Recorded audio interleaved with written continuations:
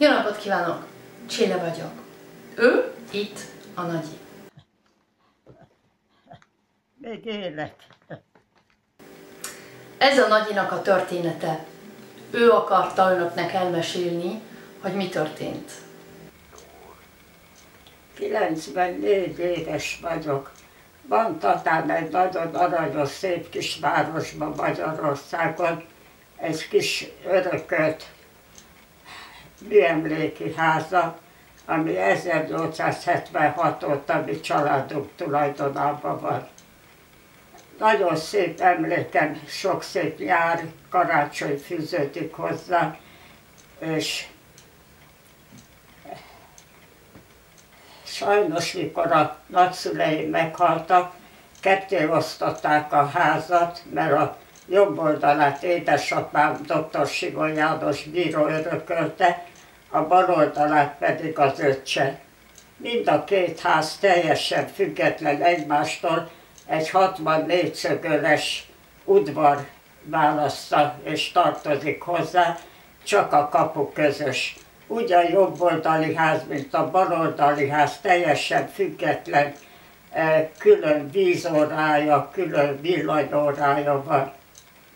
Édesapám megörökölte ezt a házat a nagyszülei, a szülei halálával, ez, és beköltözött ebbe a jobboldali házba, mert azt örökölte, az öccse pedig a baloldali részt örökölte.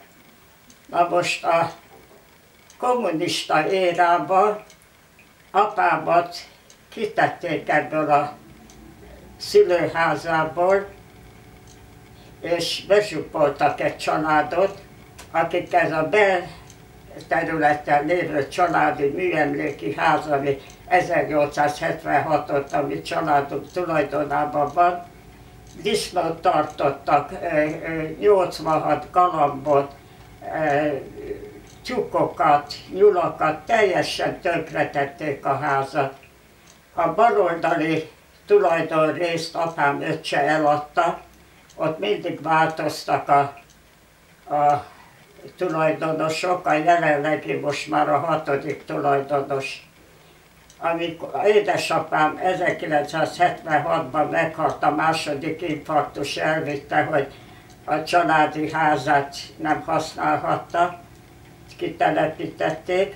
Én így örököltem meg ezt a házat már ebben a bezsupolt családdal amikor végre változott a politikai viszony Magyarországon, 1999-ben visszakaptam a magántulajdonomat, felszabadult, mert ezt a családot a tanács elhelyezte, és kaptak tanácsi lakást.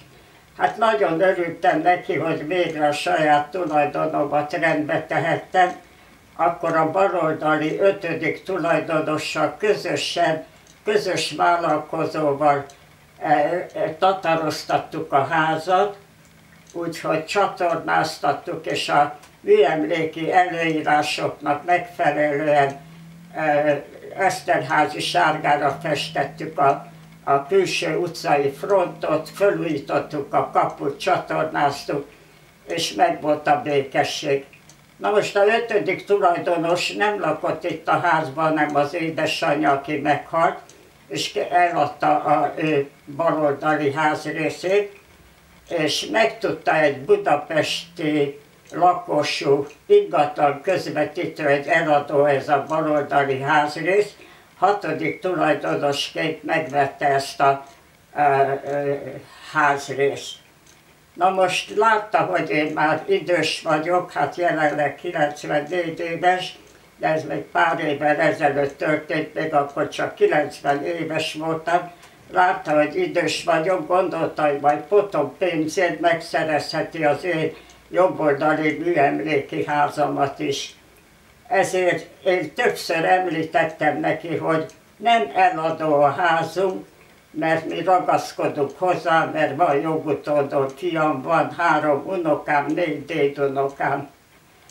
Na most ennek ellenére, hogy tudta, hogy nem eladó a házam, ügyvédileg felszólított, hogy adjam oda 4 millióért ezt a öröklött családi házat, ha nem, akkor beperel engem, és perútján fogja elvenni. Na most meg is indította pert ellenem azon a címen, egy kitalált címen, hogy nem életvitelszerűen használom a házat. Hát 90 éves koromban már nem voltam olyan erőben, hogy állandóan lent tudtam tartózkodni, de a háza műemeléki előírásoknak rendben van téve, mert a fiam, a jogutódom, aki majd megörökli a házat, hát azt tartja karba, az jár le, én nagyon ritkán tudok lemenni vele, ha jobban érzem magam. A tárgyalások elején még le tudtam menni az évek folyamán, de hát annyira megviseltek ezek a tárgyalások idegileg, hogy az e- egészséget teljesen ment már. Ilyen címe, hogy lehet elvenni egy magántulajdont, hogy nem életvitelszerűen használom. Ez a ingatlan baloldali tulajdonos, ez a ingatlan közvetítő lakottan vette meg a, a, a baloldali házrészt, a mai napig is lakója van, tehát bérbe van adva, nem ő használja. Ennek a ingatlan közvetítőnek más városban is van e, saját öröklött e, bér e, tulajdona, ami szintén bérbe van adva, és egy harmadik helyen lakik, és engem állandóan molesztált, hogy adjam el neki potom pénzért a házamat. Hát Persze, hogy 4 millióért nem voltam hajlandó eladni, és ezért indított pert ellenem. És most ennek ellenére, hogy a bíróságon is kijelentettük, hogy nem eladó a házunk, mert ragaszkodunk hozzá, egy ilyen kitalált címmel, hogy nem életvitelszerűen használom, 2017. november 29-én a jelenlegi tatai bíró mégis odaítélte ennek a ingatlan közvetítőnek a mi családi örökségünket. Hát van igazság Magyarországon, nincs magántulajdon védelem. Hogy történhet meg ilyesmi? Nem kommunizmusban élünk. Szóval azt hiszem, hogy mindenki értette, hogy ez egy oszhatatlan közös tulajdon volt, és kötelezték a nagyit, aki abszolút nem akarta eladni a házát, kötelezte arra ez a tulajdonos, a másik felé fele tulajdonos, eladni a házát, ami 9 millióért. Nézzétek meg, legyetek szívesek, hogy Tatán mennyi házat lehet a belvárosba, egy nagyon szép helyen, 10 perc az öregtótól gyalog, hogy ott mennyiért adják el a házakat. Mert 9 millióért nem. Ezek az illetők, akik kötelezték a nagyit megvenni ezt a házat, profik, van egy pár lakásuk, házuk itt-ott, ott, mm, kiadva mindenhol. Úgyhogy ezt úgy vették meg, ezt a felét a háznak, hogy tudták, hogy ki fogják onnan a nagyit rakni. Nem tudom, hogy hányszor csinálták már ezt, de ez nem egy normális dolog. Ezt Magyarországon valahogy meg kell szüntetni. Az, hogy lehet valakit kötelezni arra, hogy eladja a házát, amikor nem akarja eladni, ez nem normális dolog. Nem normális dolog. Ha az lenne az egyetlen háza, akkor most az utcán lenne vagyis az az egyetlen háza, de hála Isten egy lakásban lakik Budapesten. De ha nem lenne más, akkor most az utcán lenne. 95 évesen az utcán. Mert az a szomszéd ki akarta onnan rakni. És ebből az egész az a pláne, hogy nem hogy csak 9 millióért kellett, hogy eladja a házát, ami most tulajdonképpen most, hogy egybe van az a ház, az 22,5 millió forintba kerül most, hogy egybe van. Nem csak az, hogy rákötelezték, hogy ezt eladja, de tulajdonképpen meg is büntették, mert nem akarta eladni.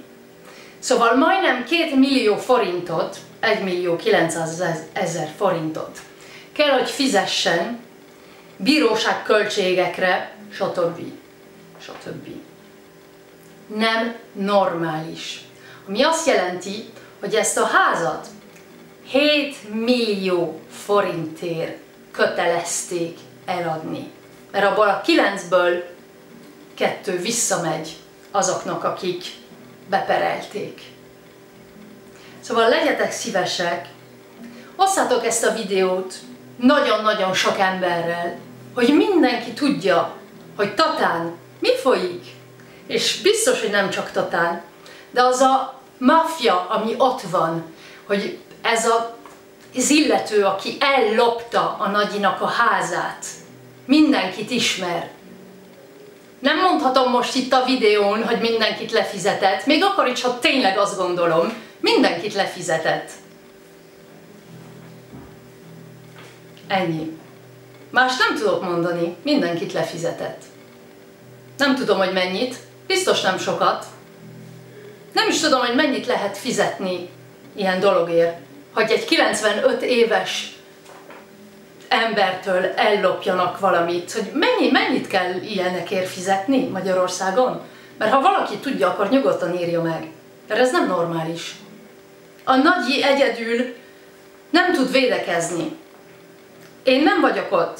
Az apu nincs ott. Más gyereke nincs. Egyedül van. Nem tud védekezni.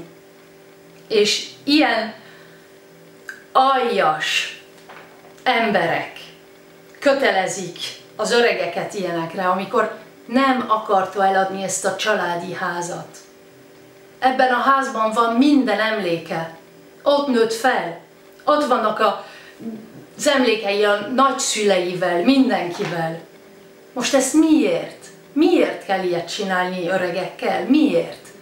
Ennyire gonosz kell lenni? Ez Magyarország. Mert ha ez Magyarország, akkor tényleg megértem, hogy mindenki onnan el akar menekülni. Már bocs.